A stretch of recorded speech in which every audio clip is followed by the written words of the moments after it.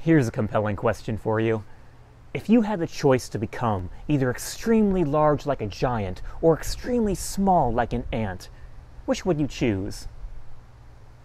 The early 20th century writer G.K. Chesterton tells a fascinating story on this subject. Two boys were visited by a fairy in their little front garden one day, and the fairy offered to grant them any wish.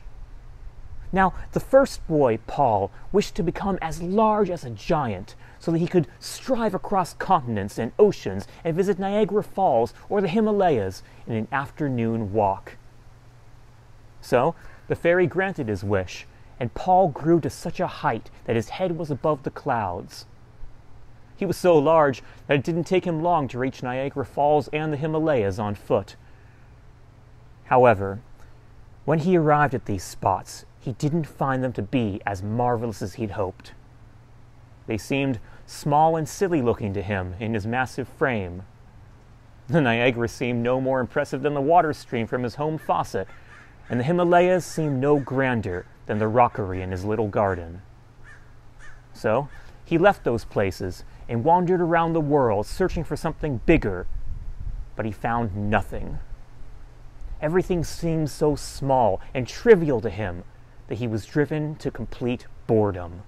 The second boy, Peter, on the other hand, asked the fairy to make him incredibly small. So the fairy did this for him, and Peter shrunk to the size of a pygmy, about half an inch tall. And his experience was the complete opposite of Paul's. All of a sudden, a whole grand, wondrous world opened up before him. He was still in his tiny front garden, which basically consisted of just grass, gravel, and a row of daisies in a flower bed. But this is not what Peter saw.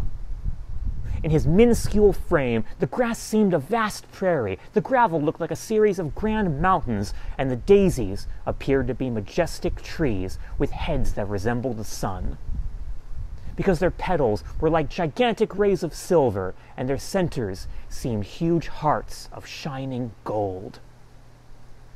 And Peter could catch a glimpse of even more grand sights from the distance, which fired his imagination and fueled his wonder to boundless heights.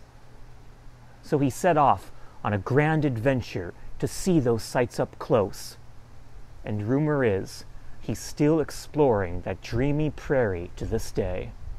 This story, I think, teaches us a lot about the nature of wonder because it illustrates the fundamental truth that there is great beauty to be found in even the smallest, most unassuming things in our lives. And all we need to do is make ourselves smaller to find it. Make no mistake, the only reason we're rarely awed by the simple things in our life is because, like Paul, we've made ourselves too big. Or, to rephrase that in a way that's easier to understand, we've made our egos too big, to the point where we think we're greater than anything and everything around us. And that's a recipe for unhappiness. We need to be small and humble to both see and appreciate the beautiful natures of our surroundings. Because the smaller and humbler we are, the grander everything around us appears. Little children are a perfect example of this everything seems so new and wonderful to them. All this doesn't mean, of course, that we should think so little of ourselves that we don't have any self esteem, but there's a fine line to be struck, right? The underlying point is we need to avoid pride. Because the more we think of ourselves, the less we think of other things, and the more bored we become as a result.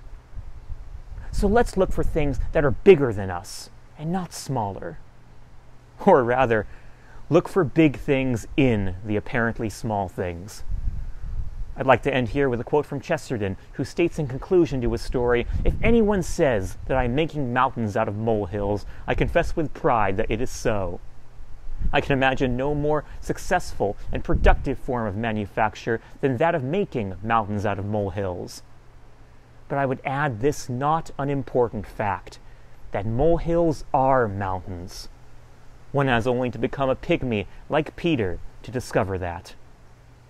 Thanks for watching.